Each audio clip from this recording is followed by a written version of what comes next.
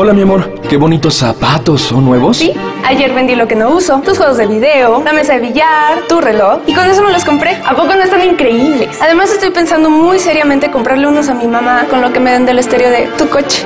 Yo mañana tempranito lo desconecto. Domestícalo con English Lady, el único desodorante con feromonas tres veces más grande, tres veces más fragancia, tres veces más domesticados. Oye, sigue sucio atrás del excusado. Domestícalos con English Lady.